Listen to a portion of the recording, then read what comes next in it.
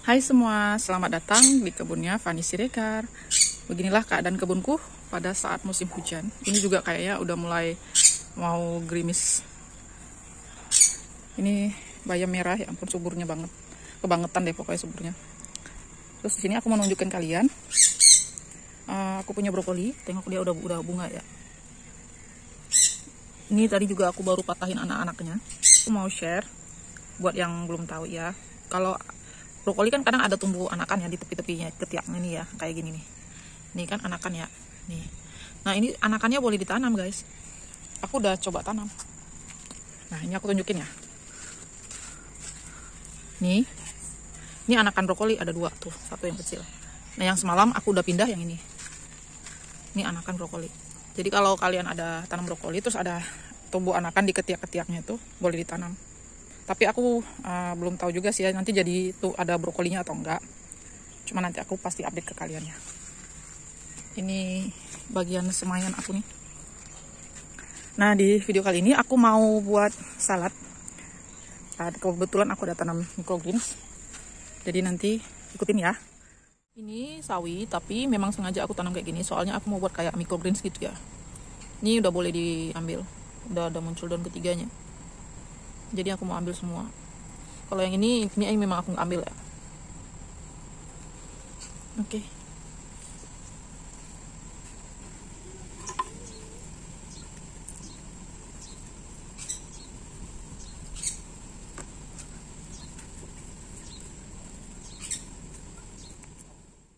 ini aku suka banget ya kalau yang sawi yang kayak gini karena mumpung benihnya banyak jadi aku buat kayak microgreens saja enak dimakan. Vitaminnya juga lebih banyak. Oke habis deh. Ini dia hasilnya. Lumayan. Aku mau buat salad gitu. Oke jom kita ambil yang lain lagi. Kita mau ambil salad ya. Nah, ingat yang aku tanam red coral ya, itu bukan red coral. Jadi itu namanya uh, mix coral. Yang ada siksa sedikit lagi di sini. Jadi aku mau ambil aja. Ada tiga lagi. Jadi aku mau ambil semua.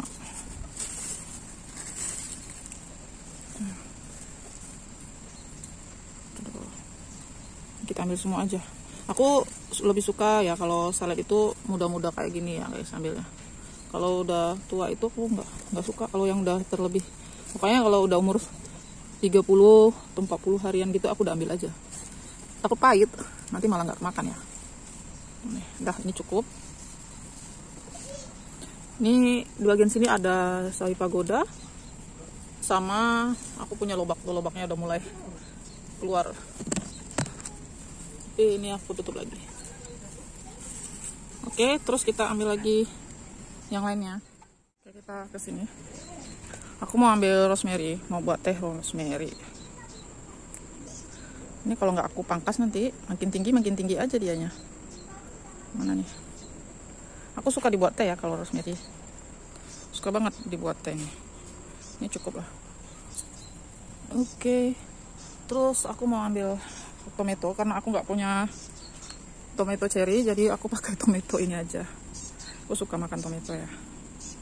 Lihatnya. Ini akibatnya nggak punya tomato cherry ya udahlah pakai ini aja ya guys. Judus, sudah dapat. Ini enak dimakan kayak gini nih. Gemes ya aku nih tengok bunga torenianya nih gemes aku. Jadi aku mau ambil aja.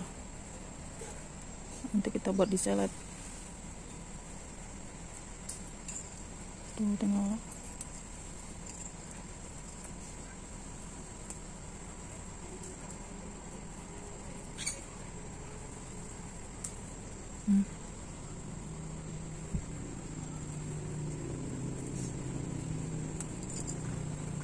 mau ambil yang pink juga deh biar ada warna-warninya. Jom kita ambil yang warna pink.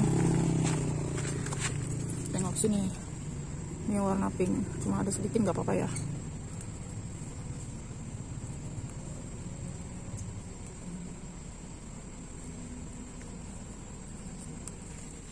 Tuh kan cantik ya. Ini raised bed baru yang aku buat tuh sini ada bunga torenia ada ketumbar juga nih. Ketumbar nih ketumbar nih ketumbar nih strawberry yang nggak mau berbuah aku letak aja di sini. Ya biarinlah dia. Buncisnya baru kita panen tapi masih ada bunga-bunga lagi ya. Ada bunga matahari terus di situ aku ada tanam timun. Tanam tomato. Nah ini pokok terungnya yang kali kedua berbuah dia. Lumayan ini ada. Sini ada ketumbar. Tengok udah keluar biji guys. Nampak tak? Nih biji ketumbar. Nanti boleh buat benih sendiri. Ini bunga torenya pink yang itu ulam raja. Terus ada bunga matahari. Ini ada halia merah. Tomato terus lagi ini daun sup. Daun supnya ada kebanyakan yang mati ya soalnya musim hujan. Terus ada timun. Sana ada uh, apa? Ulam raja sama tomato terus ada daun mint. Masih dia yang paling seger. Terus kita ke sebelah sini. Tuh ada rice bed baru lagi yang aku buat. Ada tomato sini. Nanti aku mau buat terung bulat hijau. Udah udah semai dan udah tumbuh juga. Nah itu ada salad. Di situ takin ini cokul madunya. Nggak sabar aku lihat dia berbuah ya tapi mungkin mesti tunggu 2 tahun lagi kali ya. Nah red kita begini keadaannya. Tapi aku udah semai ya. Udah ada dua yang hidup. Terus Kale Nero-nya lihat. Hari itu tengahnya dimakan sama ulat. Jadi sekarang aku udah buat baru lagi patahin terus jadi tumbuh baru tuh. Jadi banyak gini. Ini petole atau oyong? Nggak tahu ya dia nggak mau. Belum mau berbunga. Ya udah biarin aja dulu. Nah ini pokok turi yang hari itu aku patahkan atasnya dan dia tumbuh dekat tepi-tepi sini. Jadi ya nggak perlu tinggi ya aku nggak mau dia tinggi jadi nanti selanjutnya yang sebelah sana aku akan patahin juga ujungnya. Yang sebelah sana juga jadi biar dia bercabang-cabang. Ini pokok turi yang aku tanam dari biji ya. Oh. sini ada kangkung. Ini. Ada bayam merah. Terus ada sawi juga di sini. Ini sawi sangpongking sawi pagoda. Ketumbar juga ada. Terus bawang merah. Ini tadinya aku mau ambil daunnya aja tapi kok kayaknya ini banyak itu ya cabang-cabangnya. Jadi aku mau coba lah itu biar dapat panen bawang merah dari rumah dari kebunnya. Nah ini stok sawinya tinggal ini aja. Ada sawi ini tinggal dua lagi aja tapi aku udah semai ada tinggal dua terus sawi pagoda. Di uh, bagian sini kita punya kobe purple hari itu ada empat ya tapi mati satu jadi tinggal tiga aja. Ini udah mau jadi kayaknya mudah-mudahan jadi. Nah ini kubis bulat. Ini kubis bulatnya ada enam.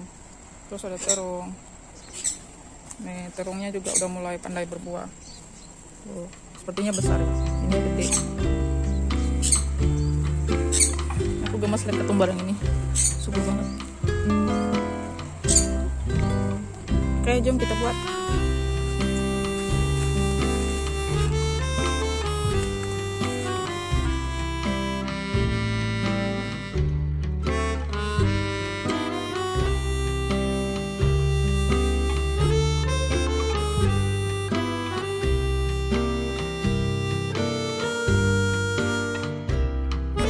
Música